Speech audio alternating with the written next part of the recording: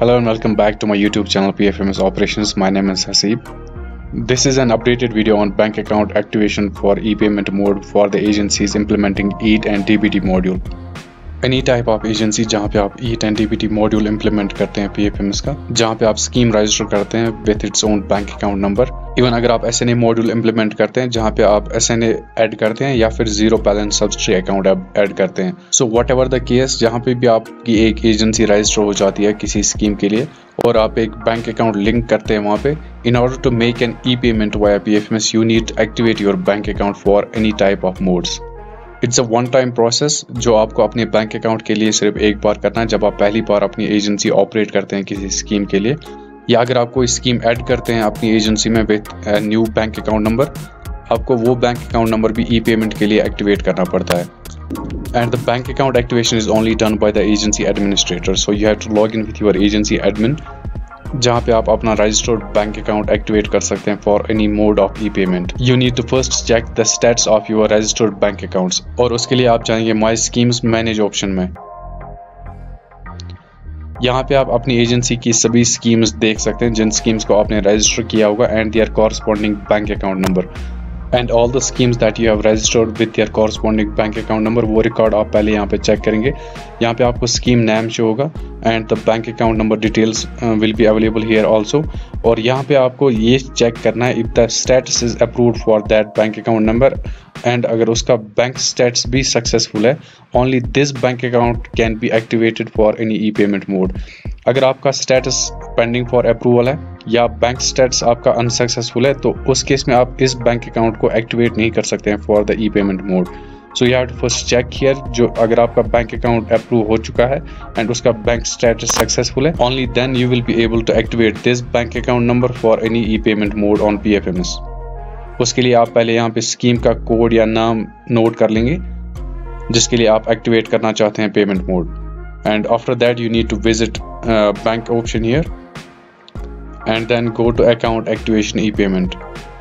यहाँ पे आप वही स्कीम सर्च करेंगे जो स्कीम आपने अपनी एजेंसी में ऐड किया होगा। जिस स्कीम के लिए आपका बैंक अकाउंट अप्रूव्ड है और आपका बैंक स्टेटस सक्सेसफुल है, वही स्कीम आप यहाँ पे सर्च करेंगे।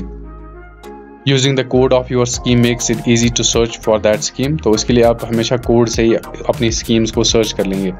And after selecting the scheme आप डायरेक्टली सर्च पे क्लिक करेंगे।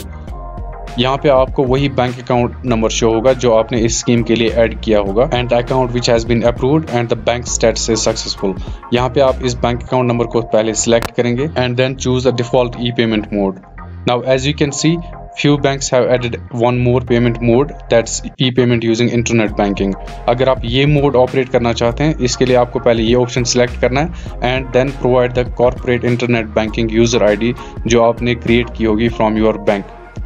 for this bank account number but अगर आप e payment using print advice choose करना चाहते हैं तो उसके लिए आप ये वाला ऑप्शन पहले सिलेक्ट करेंगे and then click on submit confirm that the bank account has been enabled और इस तरह से आपका bank account activation e payment request submit हो जाएगा फ्रॉम द पीएफएमएस